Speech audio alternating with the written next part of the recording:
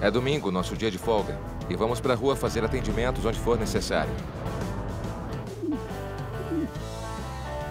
Estamos a 20 minutos da clínica, mas é um mundo diferente. Oi. Oi. Como você Eu tá? tô bem. Aileen. Prazer em te conhecer. O prazer é meu. Doamos alimentos para animais. Começamos há seis anos e estamos trabalhando com pessoas que já têm uma vida extremamente difícil. E estamos tentando tornar a vida mais fácil para eles e seus bichinhos. É aqui que a gente montou o banco de ração. Tá bom? Hoje nós vamos atender entre 80 a 100 famílias para doar Ah, é? ração. E a Entendi. clínica de vacinação vai ser bem aqui. Espacinho É, legal tem isso aqui, bastante né? espaço. Assina aqui, vacina ali. Um número muito grande de famílias luta para atender suas necessidades básicas todos os meses. Alguns podem pensar que talvez eles não devessem ter animais, mas eles têm. E esses animais trazem uma tremenda alegria. Então a ideia é manter o animal com a família. Ajudando os necessitados, eu sinto que fazemos a maior diferença. Eu não consigo pensar num jeito melhor de aproveitar meu domingo. Então, isso vem pra cá. Bem aqui, tá ótimo. Estamos aqui para vacinar os animais gratuitamente, porque não queremos que eles fiquem doentes e morram de doenças que podem ser prevenidas. Mas as vacinas podem ser bastante caras num hospital veterinário comum. Antirrábica e sinomose em todos? Não, alguns já tomaram essas vacinas. Beleza.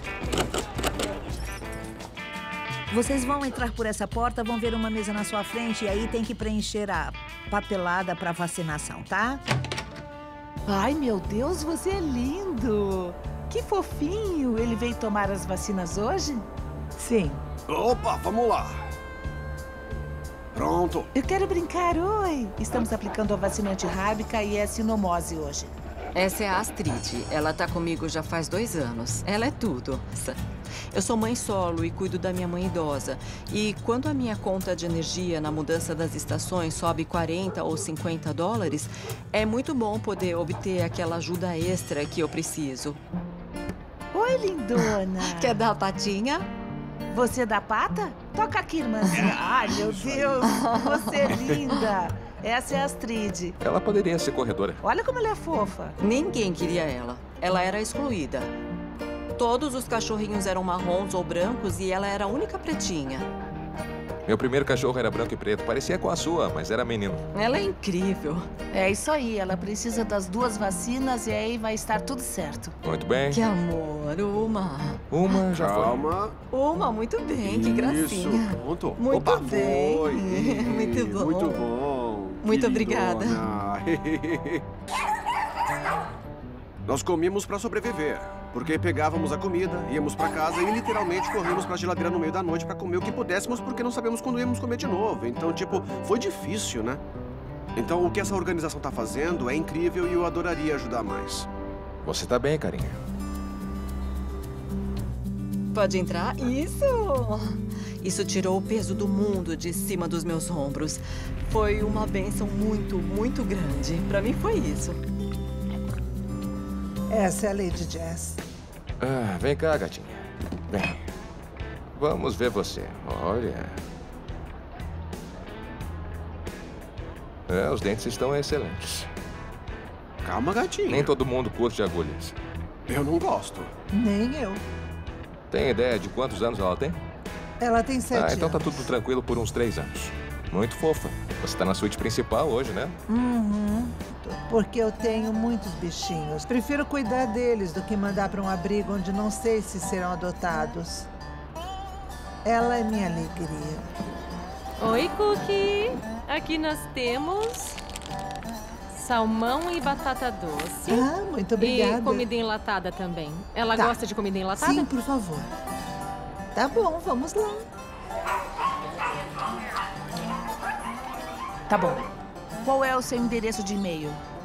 Na verdade, não tenho nenhum Tá bom. agora. Aí vamos nós. Oi, quem você trouxe hoje? Trouxe o Trooper, Oi, Trooper. o Labradoodle e a Nala. Os dois vão tomar as duas vacinas. Ah, Trooper. Ele me ajuda muito com tudo. Deita perto de mim, faz carinho e me acalma. Cadê seus olhinhos? Ai, achei seus olhinhos. A Nala é pequena, é uma maltês. Eu tô com ela faz um ano e meio já. Eu a resgatei.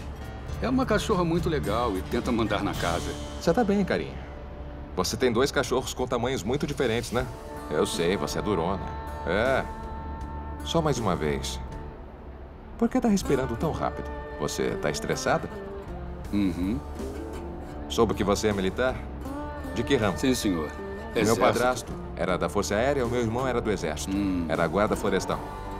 E você, maluquinho? Ah, que fofo, hein? Como você tá? Tudo bem, amigão? Aí vai uma. Tá Ele tudo fica bem. abanando o tudo rabo bem. o tempo todo? É, fica assim. Fica Aqui assim. vai a Opa. outra. É um cão de serviço? Sim, senhor. Tenho estresse pós-traumático e esquizofrenia, então eu ganhei ele. Que legal. E com o treinamento e tudo mais, ele fica do meu lado quando o meu humor muda. Ah, parece que ele te mantém ocupado. Sim, é isso mesmo. Obrigado pela ajuda. Obrigado pelo seu serviço, senhor. Não é de quê, obrigado. Obrigado. Aqui em Denver, 15% das pessoas são pobres. Então eu fico feliz de que eles não são orgulhosos a ponto de não dizer, sabe, eu preciso da sua ajuda, eu vou até aí. Faz muito bem pro coração ter um animal de estimação e todo mundo merece ter um.